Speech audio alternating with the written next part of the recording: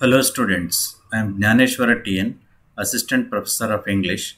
In this session, we shall know about a speech delivered by Mahatma Gandhi.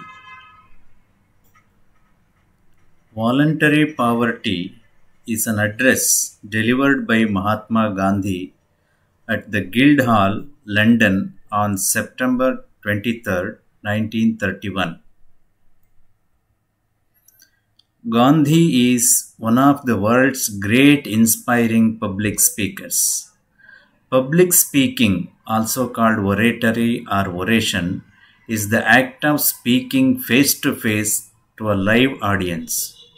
Mohandas Karamchand Gandhi was an Indian lawyer and political ethicist who employed non-violent resistance to lead the successful campaign for India's independence from British rule. Born in a Hindu family in coastal Gujarat, Gandhi trained in law in London and was called to the bar at age 22 in June 1891. After two uncertain years in India, he moved to South Africa in 1893 to represent an Indian merchant in a lawsuit. He went on to live in South Africa for 21 years.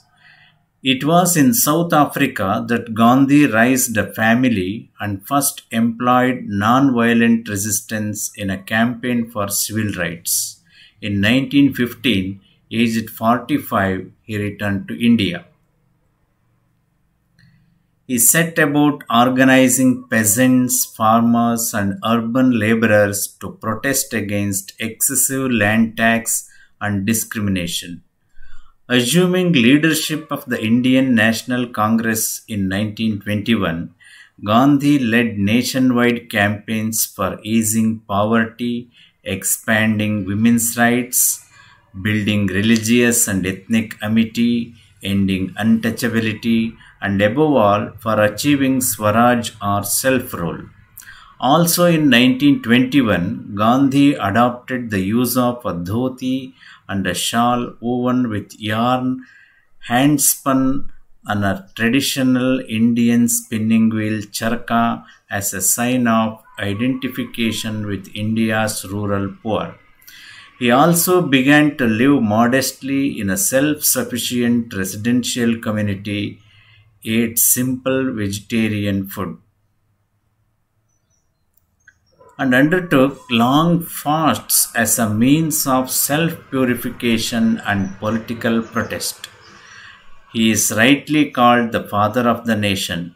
Nathuram Godse, a Hindu nationalist, assassinated Gandhi on 30th January 1948 by firing three bullets into his chest. In this speech, Voluntary Poverty, Gandhi presents how he accepted poverty willingly. He talks about the value and sacredness of poverty, especially for a politician. The doctrine of renunciation is derived from Hindu preaching, but as developed by Gandhiji, it becomes Christian, reminding us the teachings of Jesus and Tolstoy. When Gandhiji entered politics, he wished to be free from immorality, untruth, and political gain. To be free from these things, one should shun prosperity, he thought. Gandhiji came to the conclusion that if he had to serve the people, he must discard all his possession. In the beginning, it was painful for him, but as days went by, it became a matter of joy to give up things which he used to consider as his. Then the things slipped away from him very quickly. He experienced a great burden fell off his shoulders and he felt that he could walk with ease and serve his fellow men with great comfort. He tells that when you dispossess yourself of everything you have, you really possess all the treasures of the world. Gandhiji observes that the basis of culture or civilization is understood to be the multiplication of all our wants. And the more we possess, the better culture we represent. But in his opinion, the less we possess, the less we want, the better we are. Gandhiji suggests us to dedicate our body, soul, and mind for the service of our fellow beings. He says that even the body is not ours. It has been given to us as a temporary possession, and it can also be taken from us by God who has given it to us. So he says that this body must be used not for pleasure but merely for service. Gandhi has a mystic belief that God will help us when we dispossess ourselves. He says that if food is necessary, food will come to you. He says that God is the hardest taskmaster. When your faith is failing and you are sinking, He comes to your assistance somehow or other. Dear students, let us recall what we have learnt in this session. Voluntary poverty is an address delivered by Mahatma Gandhi at the Guildhall, London. Mahatma Gandhi was an Indian lawyer and political ethicist who employed non-violent resistance to lead the campaign for India's independence from British rule. Gandhi adopted the use of a dhoti and a shawl woven with yarn, handspun and a charkha as a sign of identification with India's rural poor.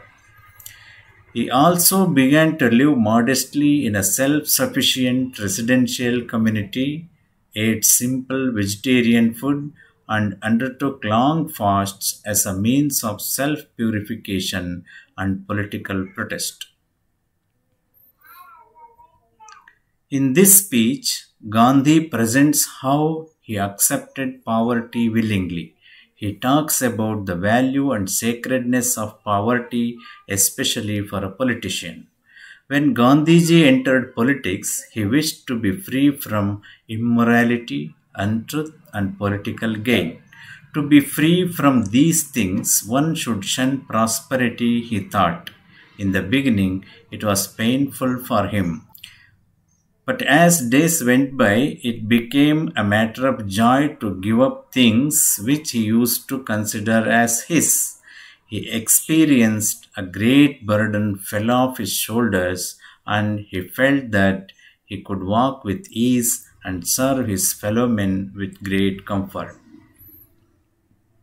Gandhiji suggests us to dedicate our body, soul, and mind for the service of our fellow beings.